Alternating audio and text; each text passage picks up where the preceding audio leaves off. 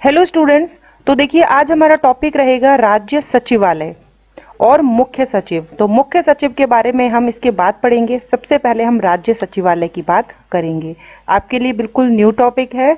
तो चलिए, समझते हैं इसको। बहुत ही सरल शब्दों में पहले समझाने की कोशिश करूँगी। राज्य सचिवालय, यानी कि सचिव का आलय। सचिवालय शब्द का आशय है सचिव का कार्यालय, जहाँ पर वो सचिव जो है वो कार्य करेगा। ये सचिव कौन होता है? सचिव जो है वो मंत्री का प्रमुख सलाहकार होता है। उसे अपने इस कार्य को पूरा करने के लिए एक कार्यालय की ज़रूरत होती है और यही कार्यालय जो है वह सचिवालय कहलाता है। ठीक है? राज्य सचिवालय जो है वो ब्रिटिश शासन की देन है। राज्य स्तर पर मुख्यमंत्री और उसकी जो मंत्री परिषद है, उसके सदस्यों को आवश्यक सलाह और परामर्श जो कि प्रशासनिक तौर पर दी जाए तो वो इन सलाहकार के द्वारा ही दी जाती है, इन सचिव के द्वारा ही मंत्रियों को दी जाती है। ठीक है? हमने देखिए राज्यपाल पढ़ा। तो राज्यपाल जो हैं, वो उन्हें कोई भी हेल्प चाहिए होती है तो वो मुख्यमंत्री से कहते हैं। मुख्यमंत्री जो है, अपनी मंत्री परिषद से सलाह मशरा करके और अपनी बातों को राज्यपाल तक पहुंचाते हैं। बहुत ही सरल शब्दों में आपको बता रही हूँ। अब देखिए, जैसे कि मान लीजिए कोई भी शिक्षा संबंधी कोई बात है तो राज्यपाल को सलाह चाहिए तो वो मुख्यमंत्री से ही पूछते हैं, उनसे परामर्श मांगते हैं मुख्यमंत्री को देनी पड़ती है। तो मुख्यमंत्री जो है वो अपने मंत्रीगण से ये सारी चीज़ें पूछते हैं, ठीक है? और सलाह मशुरा करते हैं। यहाँ पर देखिए, एक मंत्री जो है, वह राजनीतिक तौर पर दक्ष है, कुशल है। लेकिन प्रशासनिक तौर पर क्या वो दक्ष होता है? ज़रूरी नहीं है। कई मंत्री जो हैं, वो हम देखते हैं कि दसवीं पास होते हैं, मंत्री बन गया, चाहे वो चिकित्सा मंत्री हो, शिक्षा मंत्री हो, क्योंकि हमने देखा योग्यताओं के बारे में, क्या कहीं आपने ये देखा कि योग्यताओं में कि इतना पढ़ा लिखा होना चाहिए, चाहे वो राज्यपाल हो, मुख्यमंत्री हो, या कोई मंत्री परिषद में कोई मंत्री हो, कहीं भी नहीं लिखा है। क्योंकि राजनीतिक तौर पर कुशल होना चाहिए, वो इंसान बन सकता है, मंत्री। ठीक है? चाहे मुख्यमंत्री ही क्यों ना हो। वहाँ पर केवल उम्र की बात की गई है। तो हमारे देश को चलाने के लिए, सुचारू रूप से चलाने के लिए राजनीति के साथ जो है वो प्रशासनिक तौर पर दक्ष होना ये भी चाहिए। अब मंत्री जो हैं, वह अपने सचिव से सलाह लेंगे। ठीक है? तो जो सचिव होते हैं, वो बहुत पढ़े लिखे होते हैं। आईएएस आईपीएस जो है, इस पोस्ट पर होते हैं। और इन्हें कई वर्षों का अनुभव भी होता है। तो ये जो मंत्री हैं, ये सचिव से सलाह लेते हैं। ठीक है? उसके बाद ही जो है वो आगे बात जो है वह चाहती है कि हाँ ये जो है बात बिल्कुल सही है और इस पर ये ये कार्रवाई होनी चाहिए। मुख्यमंत्री के द्वारा राज्यपाल को ये सूचित कर दिया जाता है। राज्यपाल जो है इनके नाम से जो भी प्रस्ताव होता है उस पर सिग्नेचर हो जाते हैं और फिर वो हमारे सामने पेश हो जाता है। ठीक है? बजट की बात करते हैं तो मुख्यमंत्री ने बजट में जो है वह ये घोषणा कर दी कि जो है चिकित्सा पर इतना खर्च किया जाएगा, इतने जो है हॉस्पिटल खोले जाएँगे, शिक्षा पर इतना खर्च किया जाएगा, इतने इतने जो है वो इंग्लिश मीडियम स्कूल खोले जाएँगे या फिर हिंदी मीडियम स्कूल खोले जाएँगे, ठीक है? अब जो मुख्यमंत्री हैं तो उन्हें तो पॉलिटिक्स जो है वह आती है। इतना ज़्यादा गहराई से कि कहाँ पर क्या करना है, कैसे करना है, इतनी ज़्यादा नॉलेज वो नहीं रखते हैं, क्योंकि उनकी लाइफ जो है वो बहुत बिज़ी रहती है पॉलिटिक्स में। तो यहाँ पर ये जो सचिव होते हैं, ये ही जो है इन चीज़ों की बारे में जानकारी देते हैं, क्योंकि प्रशासनिक तौर पर इन्हें ही नीतियों का कैसे निर्माण करना है, नीतियों को कैसे जो है वह लागू करवाना है, ठीक है? या किस तरीके से जो है, जो बजट संबंधी कार्य है, जो भी हो रहा है उसको कैसे जो है, उस पर कहाँ पर कितना खर्च करना है। तो ये सभी बातें जो हैं, मंत्री जो हैं, वो इन सचिव से ही पूछते हैं। सचिव जिनको इन सभी चीज़ों की जानकारी होती है, ज्ञान होता है।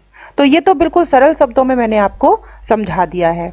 ठीक है कि राज्यपाल जो है, वो मुख्यमंत्री से सारी चीज़ें जो हैं, वह परामर्श के तौर पर लेते हैं। मुख्यमंत्री अपनी मंत्री परिषद से सलाह करती है। मंत्री जो गण होते हैं उनके पीछे जो ये सचिव होते हैं, ये जो कार्यालय में, राज्य सचिवालय में जो भी कार्य करते हैं तो इसको है आगे मंत्रियों तक पहुंचाते हैं। ठीक है? अब देखिए कि जो सचिवालय का सर्वोच्च राजनीतिक अधिकारी यदि हम बात करें, वो तो मुख्यमंत्री है, राजनीतिक अधिकारी, इस राज्य सचिवालय का। ठीक है? लेकिन सर्वोच्च प्रशासनिक अधिकारी जो है, वह कौन कहलाएगा? तो वो मुख्य सचिव कहलाएगा। प्रशासनिक अधिकारी। तो आप ध्यान दें, राजनीतिक अधिकारी, सचिवालय का कहलाएगा मुख्यमंत्री और मुख्य सचिव जो है, वह प्रशासनिक अधिकारी कहलाएगा। सचिवों की नियुक्ति का निर्णय अंतिम रूप से जो मंत्री के अनौपचारिक परामर्श के बाद ही मुख्यमंत्री करते हैं। ठीक है? और राज्य जो सचिवालय है, इसमें विभिन्न विभाग जो है, वो आवंटित किए जाते हैं। विभाग जो है, वो वर्गीकृत किए जाते हैं और प्रत्येक विभाग के सबसे ऊपर जो है वो सचिव होते हैं, मुख्य सचिव होते हैं। एक सचिव, एक मंत्री के अधीन कार्य करे तो ये ज़रूरी नहीं है। वो एक से अधिक मंत्रियों के साथ भी कार्य कर सकता है, ठीक है? लेकिन सचिव जो है वो किसी भी मंत्री विशेष का सचिव नहीं, बल्कि सरकार का सचिव कहलाएगा। ठीक है? मंत्री जो है, वह अपनी इच्छा से उनको कोई भी कार्य जो है प्रशासनिक तौर पर करने के लिए नहीं कह सकते, पर्सनली नहीं कह सकते। ठीक है? क्योंकि वह सरकार का सचिव होता है, वह राज्य सरकार का सचिव होता है। तो जो भी सचिवालय में नीति निर्माण है, जो भी कार्यक्रम जो है, जो भी तैयार किए जाते हैं, नीतियों, कार्यक्रमों को लागू किया जाता है, ठीक है? तो ये राज्य सचिवालय द्वारा ही जारी किए जाते हैं। तो आपको ये समझ में आया होगा।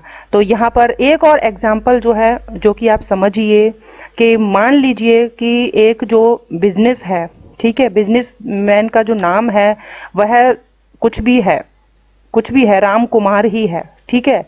लेकिन राम कुमार का जो बिज़नेस है, उसमें बहुत सारे कर्मचारी जो हैं, वह कार्य कर रहे हैं। उसने जो है वो बहुत सारे पढ़े लिखे लोगों को भी वहाँ पर रखा हुआ है सीए रखा हुआ है, ठीक है चार्टर अकाउंटेंट रखा हुआ है। बहुत सारे लोग ऐसे हैं जो कि नॉलेज रखते हैं, जो भी बिज़नेस उसके द्वारा किया जा रहा है, उसके पीछे यहाँ पर पढ़े लिखे लोग जो हैं वही कार्य कर रहे हैं। लेकिन यदि कोई पूछता है कि ये बिज़नेस किसका है तो ये राम कुमार का बिज़नेस है। ठीक है? तो जैसे कि मुख्यमंत्री को ही आगे हम जानते हैं। उसके पीछे किन लोगों ने नीतियों का निर्माण किया, ये आम लोग नहीं जानते हैं।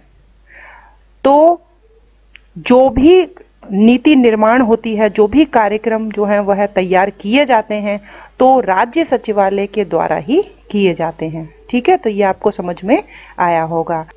तो मुख्यमंत्री हैं, राज्यपाल हैं, और जो अन्य मंत्रीगण हैं तो वो राजनीतिक अधिकारी के तौर पर जो है, वह आते हैं, ठीक है? क्योंकि इनका कोई ऐसा फिक्स नहीं होता है कि ये जो है दस या बारह वर्ष तक जो है वो इस पद पर बने ही रहेंगे। यदि समझ में नहीं आता है तो इनको जो है इनके पद से जो है वह हटाया भी जाता है। तो यदि हम बात करें कि ये जो सचिवालय में जो प्रत्येक विभाग का सर्वोच्च पद पर कार्यरत जो सचिव होता है, इसकी नियुक्ति कौन करते हैं? तो बिल्कुल स्पष्ट है, नियुक्ति तो जो वो विभाग है, उसका जो मंत्री है, उसके परामर्श पर जो है वो मुख्यमंत्री करते हैं। ठीक है, मुख्यमंत्री का ही निर्णय जो है वो अंतिम माना जाता है। सचिव से लेकर उप सचिव तक सभी पदों पर जो है वो आईएएस को ही नियुक्त किया जाता है। जो कि बहुत अच्छे तरीके से नीति निर्माणों की जो है वो जानकारी उपलब्ध करवा सकें, ठीक है, सहायता कर सके। तो चलिए अब हम नोट्स के द्वारा पढ़ते हैं। तो देखिए, सचिव जो है वो मंत्री का प्रमुख सलाहकार होता है और उसे अपने इस कार्य को पूरा करने के लिए एक कार्यालय की ज़रूरत होती है। यह कार्यालय ही सचिवालय कहलाता है, ठीक है, सचिव का आलय। अतः राज्य सरकार के समस्त विभागों के राजनीतिक प्रशासनिक प्रमुख, जिस कार्यालय में बैठकर राज्य के लिए नीति एवं विधि का निर्माण, निर्धारण करते हैं, उसे राज्य सचिवालय कहा जाता है। तो यहाँ सचिवालय का अर्थ ये नहीं है, केवल सचिव ही यहाँ पर बैठेंगे। ये बात भी ध्यान रखिए कि जो सचिव का आलय मैंने आपको बताया तो यहाँ पर सचिव के साथ साथ यानी प्रशासनिक अधिकारियों के साथ साथ जो राजनीतिक अधिकारी हैं, वह भी यहाँ पर बैठेंगे। तभी तो जो भी नीति जो है वो बनाई गई है, वो इनको पता चले। ठीक है? तो चलिए, अब हम नोट्स के साथ जो है वो यहाँ समझेंगे। सचिव मंत्री का प्रमुख सलाहकार होता है, बात कर ली हमने। उसे अपने इस कार्य को पूरा करने के लिए एक कार्यालय की ज़रूरत होती है और जिसे हम सचिवालय कहते हैं। अतः राज्य सरकार के समस्त विभागों के राजनीतिक और प्रशासनिक प्रमुख जिस कार्यालय में बैठकर राज्य के लिए नीति एवं विधि का निर्धारण करते हैं, उसे राज्य सचिवालय कहा जाता है, जहाँ पर नीति और विधि यानी कोई भी कानून जो है उसका निर्धारण किया जाता है, जहाँ पर राजनीतिक अधिकारी और प्रशासनिक अधिकारी दोनों ही जहाँ पर बैठकर जो है निर्धारण करेंगे, उसे राज्य सचिवालय कहते हैं। अनुच्छेद एक सौ एक, राज्य की कार्यपालिका शक्तियाँ राज्यपाल में निहित होती है। हमने बात की थी राज्यपाल में कि राज्य की जो कार्यपालिका शक्ति है, वह किसमें निहित है? राज्यपाल में। जिनका प्रयोग वह अधीनस्थ अधिकारियों के माध्यम से करता है। तो ये अधीनस्थ अधिकारी जो है, वो यही है जो हम बात कर रहे हैं। ठीक है, सचिव। अब देखिए, सचिवालय की आवश्यकता जो है, वह क्यों पड़ी? तो सचिवालय की आवश्यकता नीति निर्माण में योगदान के लिए बनी। नीति कैसे उसका निर्माण किया जाए, नियोजन किस तरीके से किया जाए, ठीक है? अधीनस्थ संस्थाओं पर जो है वह नियंत्रण कैसे लगाया जाए? तो ये सभी कार्य करने के लिए सचिवालय की आवश्यकता हुई। राजनीतिक कार्यपालिका की अस्थिरता एवं निपुणता। राजनीतिक कार्यपालिका जहाँ पर कौन कौन आ जाएँगे? राज्यपाल, मुख्यमंत्री और मंत्री परिषद तो ये लोग जो हैं, वो इतने ज़्यादा निपुण नहीं होते हैं इन कार्यों में। कोई भी नीति निर्माण हो, जिस तरीके का प्रशासनिक कार्य होता है, इसमें ये लोग निपुण नहीं होते हैं। और अस्थिरता, यानी कि ये लोग जो हैं, इनका जो पद है, वह स्थायी नहीं होता है। कभी भी इनको इनके पद से पदमुक्त किया जा सकता है। तो इस वजह से भी सचिवालय की आवश्यकता पड़ी। विधायन प्रक्रिया की कठिनाई, जो भी विधि संबंधी, कानून संबंधी जो कार्य होते हैं, वो कठिन होते हैं, जो कि राजनीतिक अधिकारी के बस की बात नहीं होती है। उनको तो पॉलिटिक्स ही आती है। हम सभी जानते हैं कि पॉलिटिक्स वाला जो है, वो पॉलिटी बहुत अच्छे से करना जानता है। तो विधि संबंधी कानून जो है, वह किस तरीके से बनाया जाएगा? कोई भी विधेयक जो है, वो अधिनियम जो है, वो कैसे जो है, वो बनेगा? कैसे कानून जो है, वह बनेगा? और कोई भी कानून बनाने के लिए क्या करना पड़ेगा? ठीक है, ये कानून बनेगा तो ये सही रहेगा या नहीं रहेगा? तो इस वजह से राज्य सचिवालय जो है, उसकी आवश्यकता हुई। नेक्स्ट पॉइंट देखिए, राजनीतिक कार्यपालिका की अति व्यस्तता। तो राजनीतिक कार्यपालिका जो है, राज्यपाल, मुख्यमंत्री, मंत्रीगण जो है, वो इतने बिज़ी रहते हैं कि उनको जो उनकी बैठकों की जो कार्य सूची बनाना, ये सब भी इनका ही कार्य होता है। जो भी कार्यवाही है, इनका आलेखन जो है, ये कौन करता है? ये राज्य सचिवालय के जो सचिव लोग हैं, वही करते हैं। ठीक है? मंत्रियों से संबंधित विषयों के जो आंकड़े हैं, सूचना जो भी पेश की जाएगी, वो इनके लिए, इनके द्वारा ही, इनके परामर्श के द्वारा ही की जाती है। राजस्थान राज्य सचिवालय की स्थापना, राजस्थान राज्य की समाकलन प्रक्रिया के तुरंत बाद जयपुर में की गई। ठीक है तो इंपॉर्टेंट लाइन है एग्ज़ाम में पूछी जा सकती है। राज्य की समाकलन प्रक्रिया क्या है, जो 30 मार्च उन्नीस सौ उनचास को हम राजस्थान दिवस मनाते हैं। ठीक है, उसी वक्त, यानी राजस्थान एकीकरण का जो चौथा चरण है तो उस समय ही राज्य सचिवालय की स्थापना की गई। प्रारंभ में राज्य सचिवालय की स्थापना विधायक निवास भवन में की गई अप्रैल उन्नीस सौ उनचास में। उसके बाद विधायक निवास भवन से वर्तमान भवन में स्थानांतरित किया गया। तो अब आपसे कोई पूछे कि राज्य सचिवालय जो है, वह कहाँ है? तो आप क्या बताएँगे? जयपुर में है। ठीक है?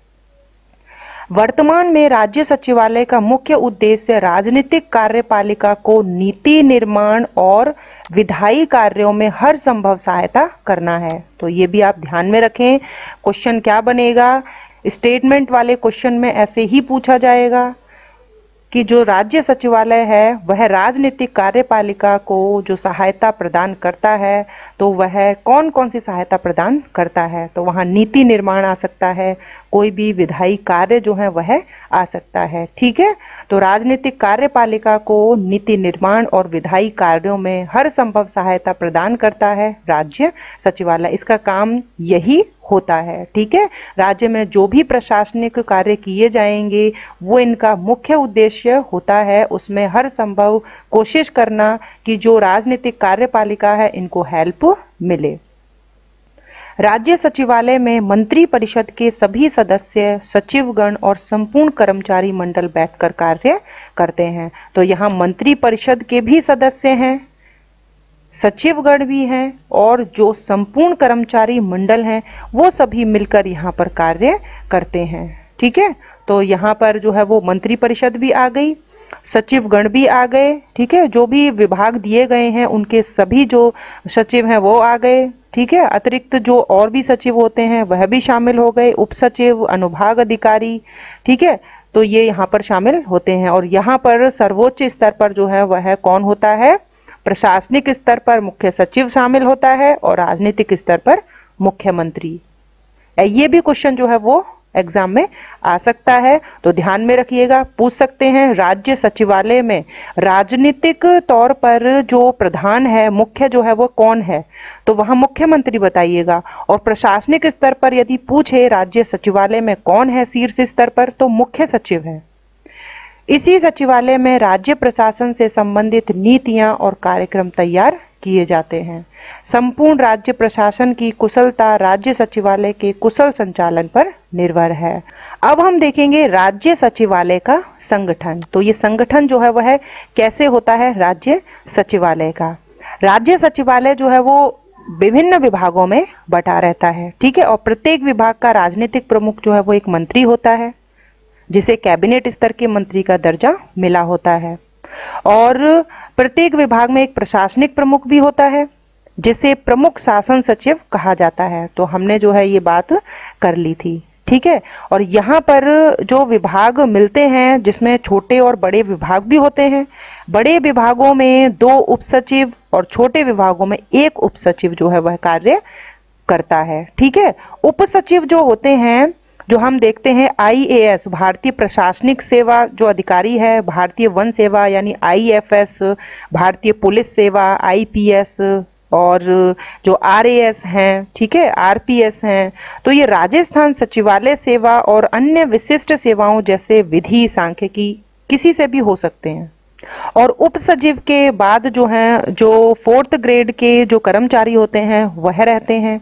शासन सचिव जो है, वो अपने अधीनस्थ स्टाफ जो है, उस पर कंट्रोल रखता है, ठीक है? और उप सचिव शासन सचिव द्वारा सौंपे कार्यों को करते हैं।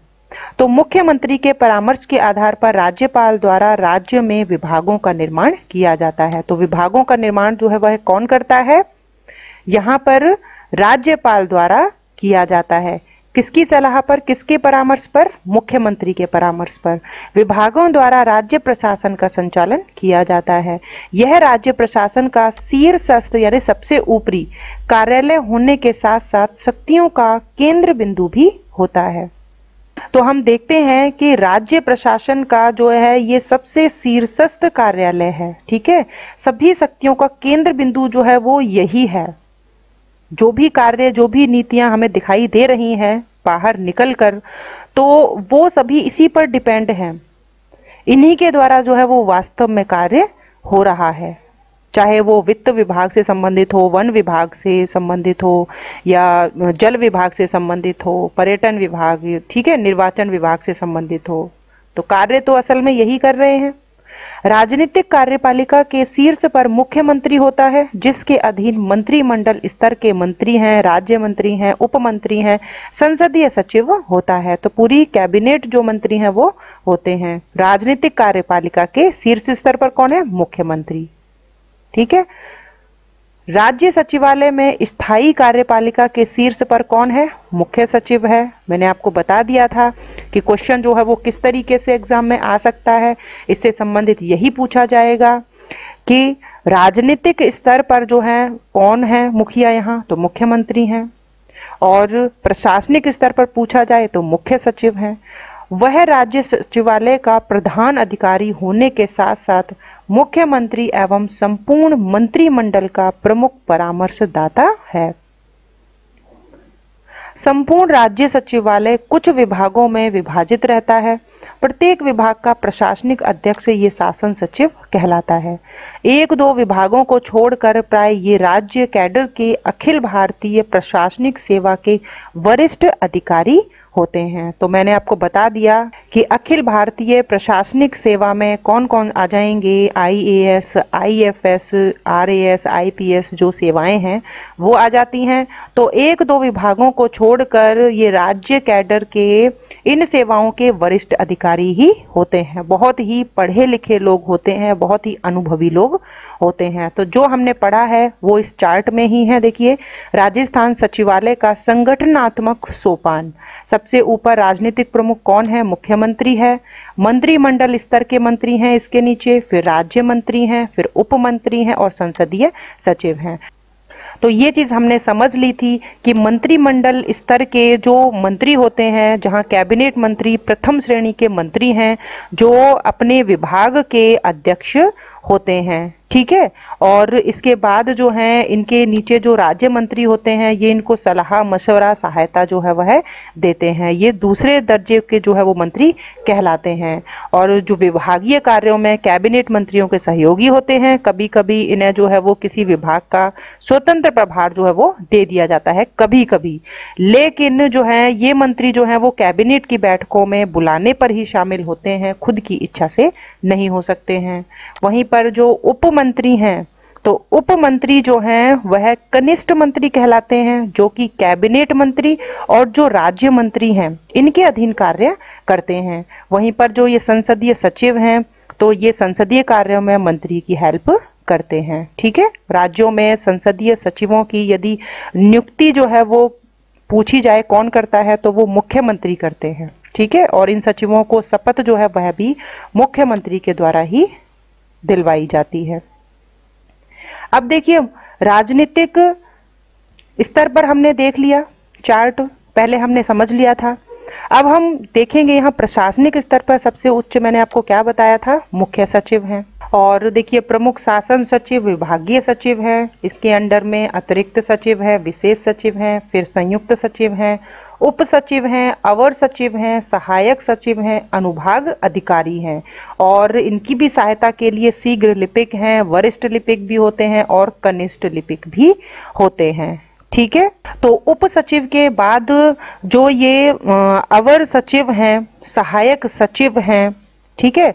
जो राज्य सचिवालय सेवा के सदस्य होते हैं और इसके बाद जो अनुभाग अधिकारी होते हैं, जो राजपत्रित होता है और ये राजस्थान सचिवालय सेवा के माध्यम से पद ग्रहण करता है। ठीक है, इसके बाद जो है, जो ये शीघ्र लिपिक हैं, वरिष्ठ लिपिक हैं, कनिष्क लिपिक हैं, इसके बाद जो है वो चतुर्थ श्रेणी के जो है कर्मचारी भी आते हैं। तो शासन सचिव जो है वो अपने अधीनस्थ जो स्टाफ है, इस पर कंट्रोल रखता है। तो ये चीज़ जो है वो आप ध्यान में रखें। पूछा जा सकता है, ठीक है, कि इनके जो है शासन सचिव, इनका जो विभाग जो है, इसमें कौन कौन आता है? सबसे ऊपर मुख्य सचिव आता है, ठीक है, अतिरिक्त सचिव होते हैं, उप सचिव, अवर सचिव, सहायक सचिव, अनुभाग अधिकारी होते हैं तो ये सभी चार्ट में दिए हुए हैं।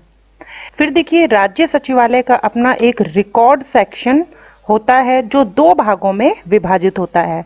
तो एक तरीके की लाइब्रेरी जो है वो हम कह सकते हैं कि राज्य सचिवालय जो है उनके पास एक बहुत बड़ी जो है वो लाइब्रेरी होती है, जिसमें रिकॉर्ड जो है वो रहता है। एक तो नवीन रिकॉर्ड रहता है और दूसरा ऐतिहासिक रिकॉर्ड व प्रकाशन रहता है। तो जो भी नीतियाँ जो नई बनी हैं, वो नए नवीन रिकॉर्ड में जो है, वो लिखी हुई मिलेंगी। दूसरा जो ऐतिहासिक रिकॉर्ड है, जिन लोगों को शोध वगैरह करना होता है, जिन सचिवों को तो वो लोग इन बुक्स को पढ़ते हैं, ठीक है? क्योंकि यहाँ जो है, इन्हें ऐतिहासिक रिकॉर्ड मिलता है, ठीक है? तो जो भी जो भी जानकारी इनको चाहिए होती है, पुरानी चाहे नई तो वो सभी जो है, यहाँ पर रिकॉर्ड सेक्शन में मिल जाती है। उसके बाद देखिए, प्रशासनिक सुधार आयोग ने, प्रशासनिक सुधार आयोग ने उन्नीस सौ छियासठ, सड़सठ के समय ये कहा कि सचिवों की संख्या जो है वो केवल दस होनी चाहिए। ठीक है, जो सचिव हैं, उनकी संख्या केवल दस होनी चाहिए।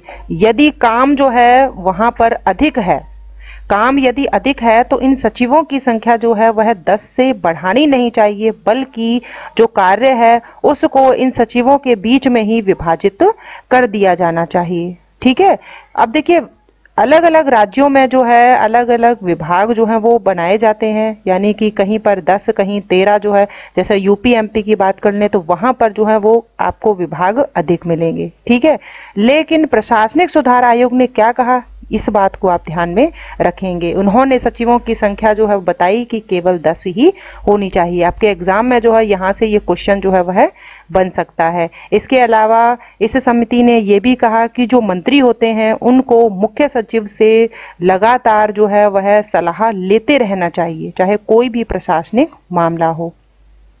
जी के भनोत, जो कि मुख्य सचिव रहे तो इनकी अध्यक्षता में नियुक्त राजस्थान की प्रशासनिक सुधार समिति ने सचिवों की बढ़ती हुई संख्या पर गंभीर चिंता व्यक्त की। तो राजस्थान के मुख्य सचिव रहे हैं जी के भनौत। इन्होंने बहुत अच्छे कार्य किए थे अपने समय पर। कार्यकाल समाप्त होने के बाद इन्होंने एक समिति जो है वो गठित की। और इस समिति का कार्य ही था कि बहुत सारे जो भी सुझाव हैं, जो दिए जाएँ, ठीक है? और जो कि प्रशासन से संबंधित हो तो उसमें से एक सुझाव इन्होंने ये दिया था कि सचिवों की बढ़ती हुई संख्या पर इन्होंने गंभीरता व्यक्त की थी। ठीक है तो आप ये ध्यान में रखिएगा कि सचिवों की संख्या पर चिंता व्यक्त किसने की थी, किसकी अध्यक्षता में प्रशासनिक सुधार समिति जो है वह बनाई गई, जी के भनौत।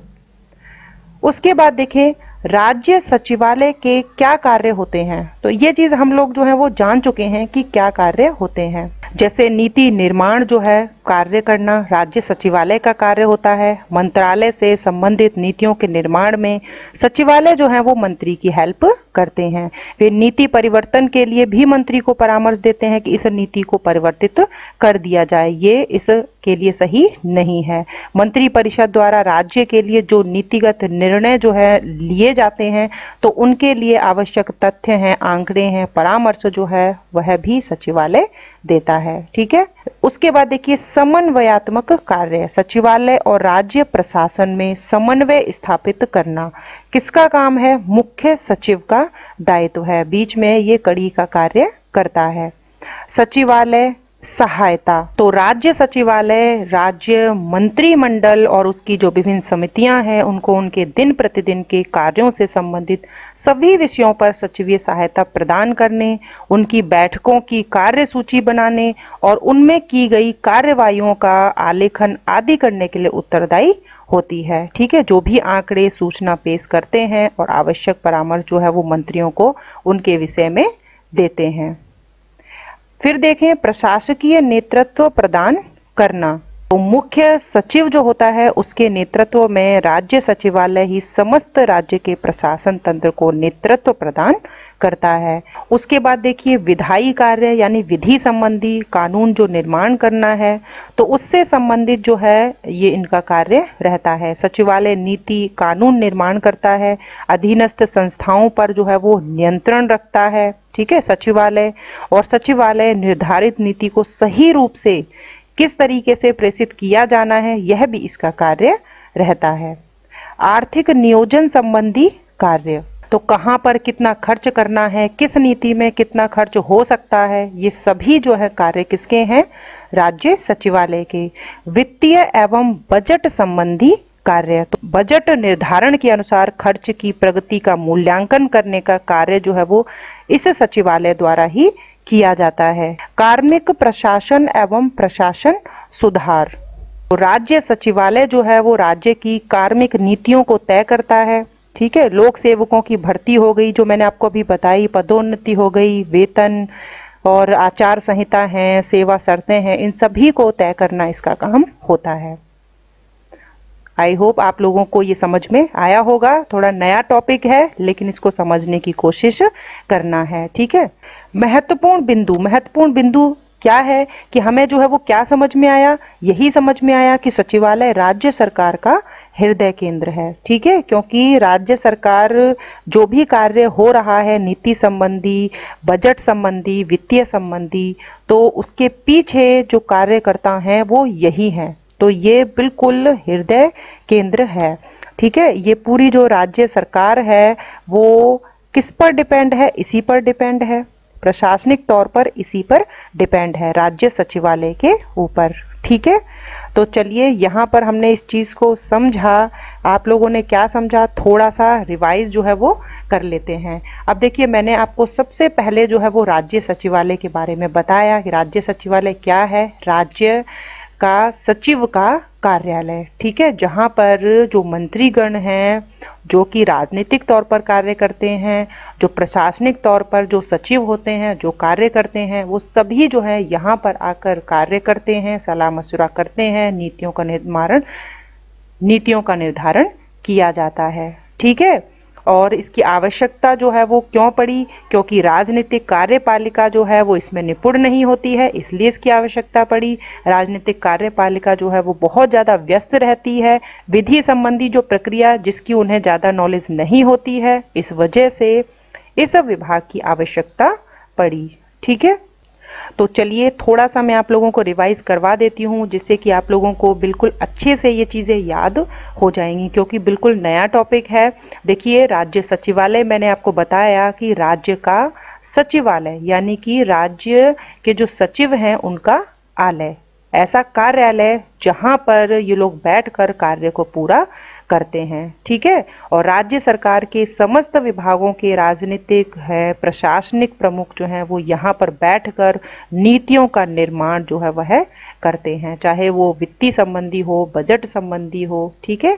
तो यहाँ पर ज़रूरत क्यों पड़ती है सचिवालय की? तो यहाँ ज़रूरत इसीलिए पड़ती है क्योंकि राजनीतिक कार्यपालिका है, जो कि मंत्रीगण जो हैं, वो इन कार्यों में निपुण नहीं होते हैं, इसलिए आवश्यकता पड़ती है। ये लोग बहुत ज़्यादा बिज़ी होते हैं, ठीक है? तो अति व्यस्तता के कारण भी सचिवालय की आवश्यकता होती है, ठीक है? और जो सचिव मंत्री का जो है वो प्रमुख सलाहकार होता है। मंत्री जो है, जो भी कुछ आगे जो हमें दिखाई देता है, और हम लोग न्यूज़पेपर में टीवी में जो कुछ देखते हैं कि मंत्री के द्वारा जो है ये चीज़ सामने आई है कि शिक्षा के क्षेत्र में ये हो जाएगा, चिकित्सा के क्षेत्र में ये हो जाएगा तो उसके पीछे जो है राज्य सचिवालय के ही प्रमुख अधिकारी होते हैं, ठीक है? मुख्य सचिव जो है यहाँ पर शीर्ष स्तर पर रहता है। हमने राज्य सचिवालय देखा, इसके बाद हम मुख्य सचिव जो हैं, उनके बारे में पढ़ेंगे। ठीक है? मुख्य सचिव जो कि सचिवालय का सर्वे सर्वा कहलाता है। इसका यदि हम प्रमुख कार्य देखें तो मंत्रिमंडल की बैठकों का जो एजेंडा तैयार करता है, वो करता है मुख्य सचिव। ठीक है? बैठकों की व्यवस्था कैसे करनी है? कार्यवाहियों का रिकॉर्ड जो है वो यही रखता है। बैठकों में जो भी मामले पेश किए जाते हैं, चाहे वो किसी विभाग से संबंधित हो, वो सभी मुख्य सचिव के माध्यम से ही पेश किए जाते हैं किसी मंत्री के द्वारा। तो मंत्रिमंडल की नीति निर्माण में आवश्यक सहायता सलाह देता है मुख्य सचिव। तो उसी के बारे में हम नेक्स्ट वीडियो में पढ़ेंगे। Thank you